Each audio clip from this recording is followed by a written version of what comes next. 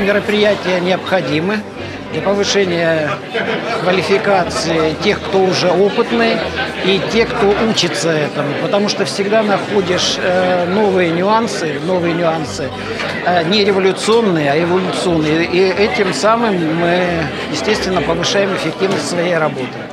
Э, здесь присутствует и глубокий анализ того, что предлагается э, вместе с юмором. Это всегда очень хорошо. То, что всегда э, биоконцепт делает, это на высшем уровне.